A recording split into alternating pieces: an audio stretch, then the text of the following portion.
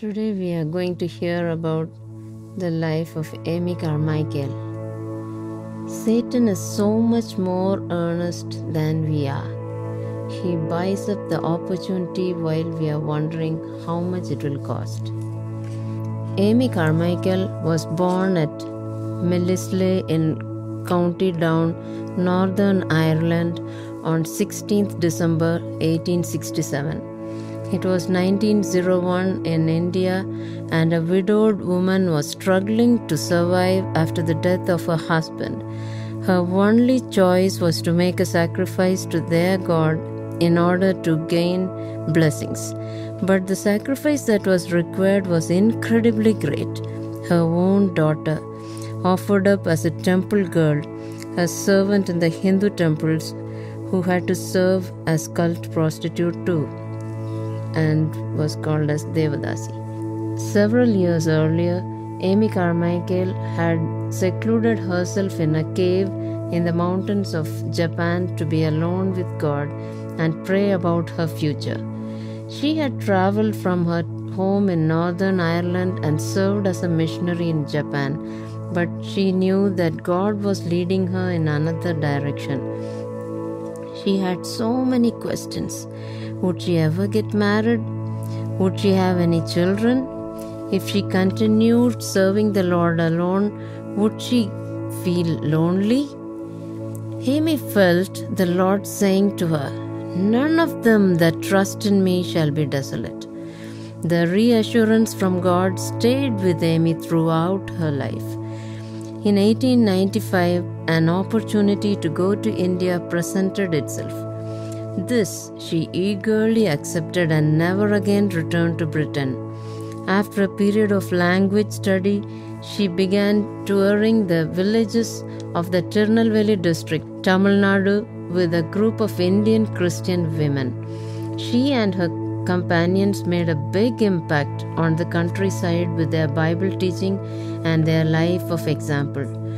Then in 1901, a seven year old girl who had run away from a Hindu temple was brought to Amy. This incident resulted in the discovery by patient enquiry and research of the Devadasi system by which baby girls could be dedicated to Hindu temples to become servants of the deities. These Devadasis inevitably had to serve as cult prostitutes.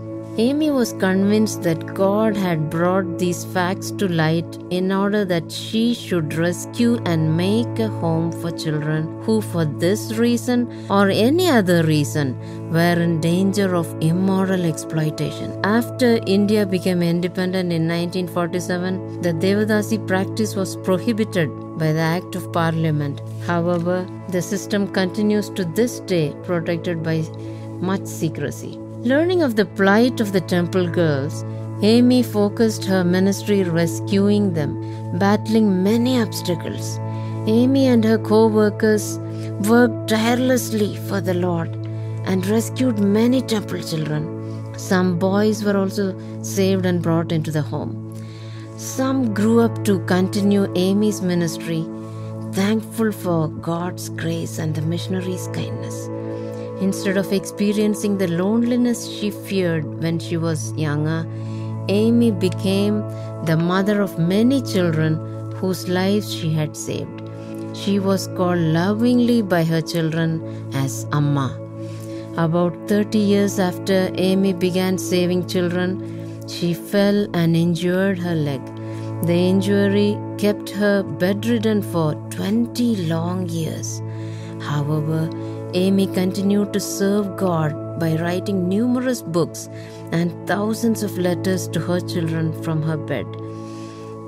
When she was bedridden, Amma wrote many thousands of letters to her children, whom she adopted in Dohnavur, whom she called as her own family. Almost daily she wrote to them, in which she shared the thoughts that the Lord had given her. They were intended only for her children, but a selection of those has been published as daily meditation called Edges of His Ways, Whispers of His Power. Once Amy wrote to her children, It's a great cheer to know that these notes are sometimes a help. There are so many of you, and your needs are so various, and your ages are so different that it is impossible any one word should be for everybody. No archer ever shot several hundred targets with one arrow. But if any arrow finds its target, I am content and grateful. Amy, who was called as Amma, often located the temple children to rescue them by dyeing her hair and her light skin with coffee powder in order to enter temples undetected. She wore sari to look just like one of the women in that locality. Preena was the first child Amma adopted in Dohnavur. Preena was the seven year old child, the daughter of the widow who gave her to be as a temple Devadasi. Preena's miraculous escape on the sixth day of the month held such significance for Amy that as her ministry grew to include hundreds of children, they would gather to pray on the sixth day of every month. At this time, they would dedicate each child to the Lord and pray for those that still remained in danger. Through her untiring and courageous efforts, Amy Carmichael brought international attention to the plight of many temple children. Eventually, her labor was rewarded when the practice of giving children to temples or marrying children to the deities became illegal. Amy died when she was 83 in Dohnavur Fellowship, the place which was a home for the children who were lost. Amy's prayer was Give me the love that leads the way, the faith that nothing can dismay, the hope no disappointments tire the passion that'll burn like fire. Let me not sink to be a clod. Make me thy fuel, flame of God. Amy Carmichael was a British missionary who arrived in India in 1895 and stayed there till her death in 1951. Some of her quotes One can give without loving, but one cannot love without giving. When I consider the cross of Christ, how can anything I do be called sacrifice? Missionary life is simply a chance to die. It is a safe thing to trust Him to fulfill the desires which He creates. Thank God He doesn't measure out grace in teaspoons. Those who think too much of themselves don't think enough. We have all eternity to celebrate the victories, but only a few hours before sunset to win them. If a sudden jar can cause me to speak an impatient, unloving word, then I know nothing of Calvary love. For a cup brimful of sweet water cannot spill even one drop of bitter water, however suddenly jolted. But God is the God of the waves and the billows, and they are still His when they come over us. And again and again, we have proved that the overwhelming thing does not overwhelm. Once more, by His interposition, deliverance came. We were cast down but not destroyed. It is not the place where we are, or the work that we do, or the work that we cannot do that matters. It's something else. It is the fire within that burns and shines, whatever be our circumstances. God, harden me against myself. Our loving Lord is not just present, but nearer than the thought can imagine, so near that a whisper can reach him. The word comfort is from two Latin words meaning with and strong. He is with us to make us strong.